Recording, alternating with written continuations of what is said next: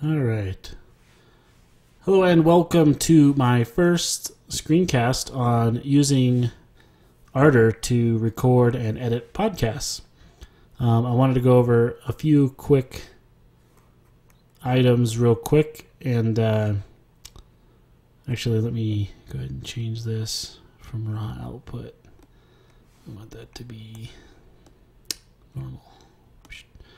So I've got a little thing at the bottom here that'll show us if we're typing anything on the keyboard.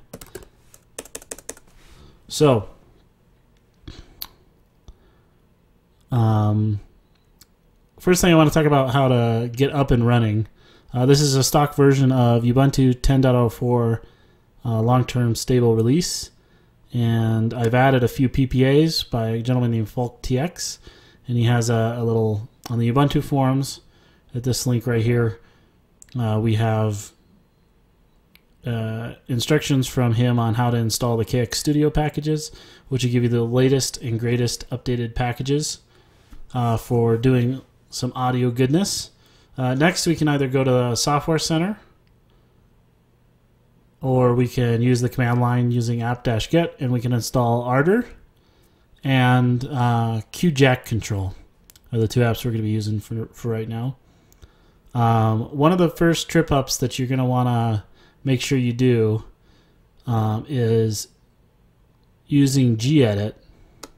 And you're going to do this as root, but I'm just going to do it right here so I don't have to pass, type any passwords since uh, uh, I got the, you'll see my passwords as it gets typed in.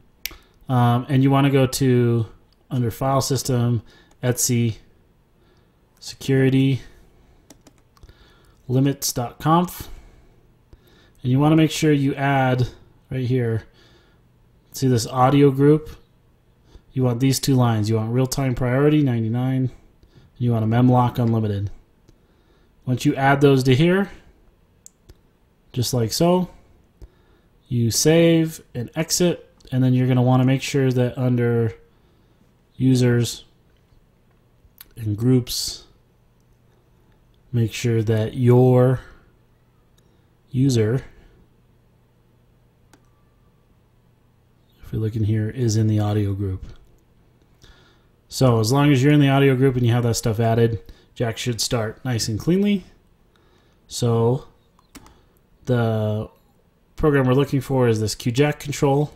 I've actually already got Jack running, but it'll kick on and show my connections on the audio tab right there. And this is me capturing my audio.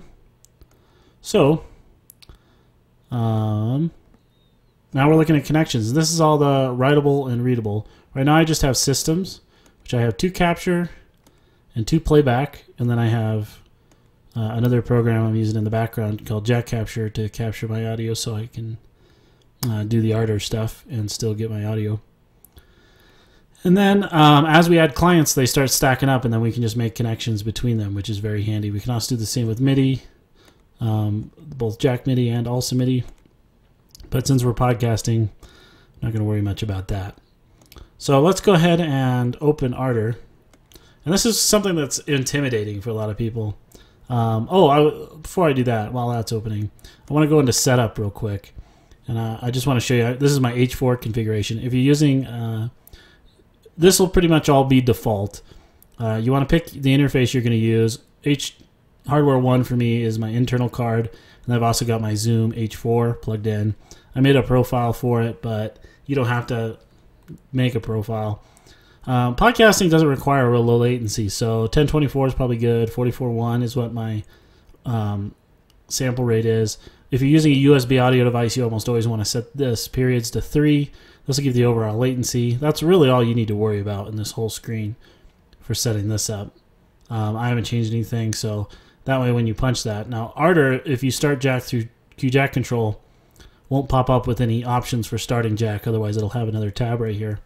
And that lets you configure it right through there. But I like using QJack control because it allows me to pull up these connections and uh, make all the connections that I want. So let's go ahead and open a session. I've got uh, uh, a raw session of one of our episodes, episode number 52, the Open Source Musician Podcast. we're going to go ahead and open this one, but if you just type new, it'll create a new one. Uh, so here's what I have. I have right here, you can see um, this guy has the connections up.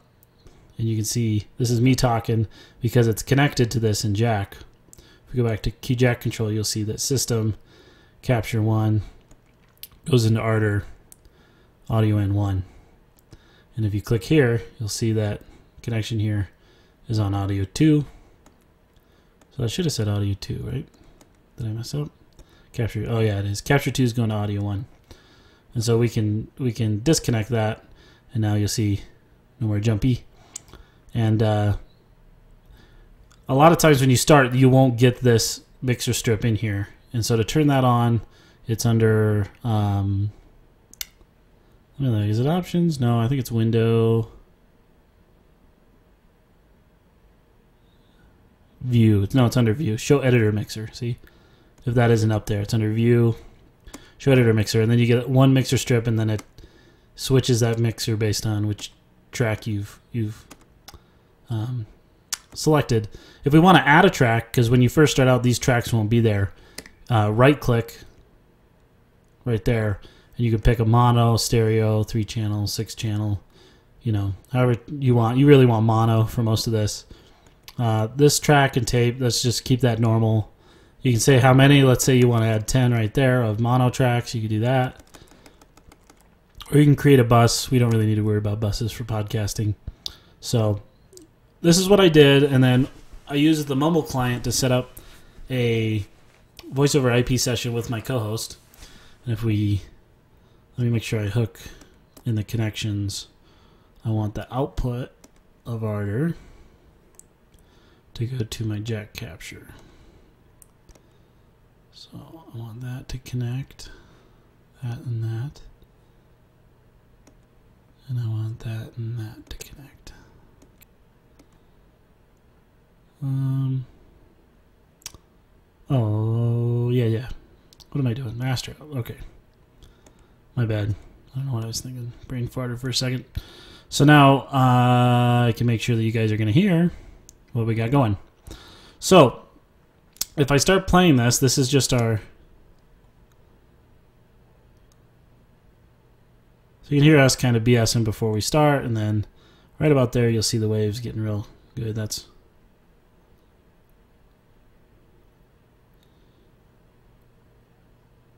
Okay, so this is a um, uh, this is a recording of him. So these are the mute buttons, and then we have a solo button. So solo means that if I have a bunch of tracks and I want to just listen to this one, I can punch solo. Mute means if I don't want to listen to a specific track, I can just mute that track and it won't play it. So let me solo this guy and show you. This is my the mumble version. Of Mike talking, and uh, it's okay. I mean, it's adequate. So, so for most podcasts, that'll be just peachy keen. However, um, we do a double ender, so um, we use Dropbox right here, and uh, he uploads a FLAC version of his Ardour session that he, he exports. So if we want to import that, we just go here, and then I can go to Oops. Go to Dworth and then down to my Dropbox folder. I have OSMP folder and there's his February 8th. And you have some options here. You can do one track per file or one track per channel. So if you have like uh, stereo or uh, a three three channel file, and uh, you want each one separately, you could you can split it up into each channel. We've got one track per file right here. You can also do, uh, this is going to add it as a new track. You could have it just add it to the region list, which I'll show you in a minute. And then, or as a new tape track. We're not going to worry about that. We want it as a new track. So we'll hit OK. Let's go, go ahead and import that. And that takes a second. Over here you can see this is uh, what it was calling the region list. So if you do multiple takes and you make screw ups, you can delete it out of here and, and leave those alternate takes over here. and uh, it's handy if you're recording multiple takes and you want to come back later and oh I forgot to talk about something I don't want to re-record it I only had another one. When you mess up if you hit control Z and delete it won't actually delete the track it just deletes it out of the editor list here. Uh, it won't delete it out of the region list. For example if I go ahead and take this track and I punch delete it's now gone but see it's still in the region list so if I want to add that back in boom Got it right there. So here you can see this is his recording, and it seems to line up. This is why I like recording this other one. See, see his waveforms there? They don't quite line line up enough. So Control Scroll zooms in the editor window, and we'll zoom in to the beginning. We'll go all the way back to the beginning. Zoom in quite a bit. Make sure we're back at the beginning again, and then see he's got more pre-roll than I did. He hit record before I did. So we'll, we'll kind of scoot that back and then we can just kind of manually, it doesn't have to be dead on, but we can zoom in quite a bit and we can get this to where if I unsolo that and I mute that, I can loop just this, this region to check for how it lines up. So to do a loop, I want to um, hit loop range. We're going to add if we right click there, no. Trying to remember how to do the loop range. Oh, here we go. Right click and then in, in that and then drag. And that'll and then we can set a loop range. So now we got this loop here and then this is the loop button. So we did and that'll just play this over and over again. So then if I mute this, so that's the mumble version live version. So it's a little bit of phase. I mean, it's not it's not music, so it's not gonna be a big deal. So now I can mute this track. I know I have that kind of basically lined up. Now I want to go back to the beginning, make sure I trim. I know this is where I start talking. So what we can do is deselect all of these. I want to just click this track and you see how it goes to that little key right there. We can drag this in. So I'll drag it to where it lines up right at the beginning of that track, kind of. Doesn't have to be exact. We're not actually using this track, but to make sure sometimes when you import stuff, they get out of out of wacky. So I'll make this full screen. I'm not actually seeing the bottom of the screen here. Anyways, so Make sure we jump all the way back. We'll get this lined up pretty close. We'll get this lined up pretty close. Now we can now we have three separate tracks and we don't have any breaks in the tracks. So if we hit control all A, we select all those tracks and now when we drag, we can drag them all in. So we know um,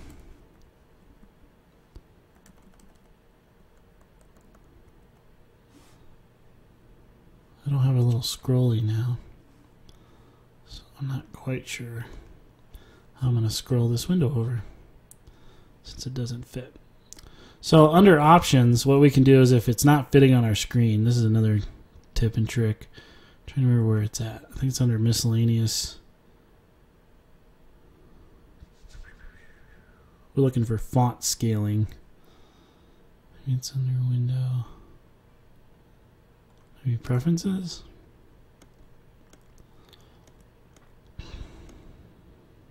Font scaling. We can turn this down and see it'll kind of scale everything to fit better on our window. So that's about the max I can turn that down. Might be too small though.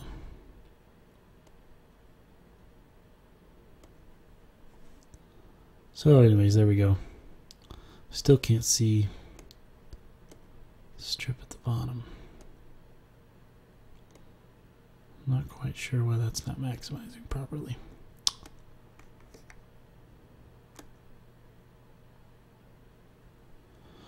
Well, anyways. So, what we can end up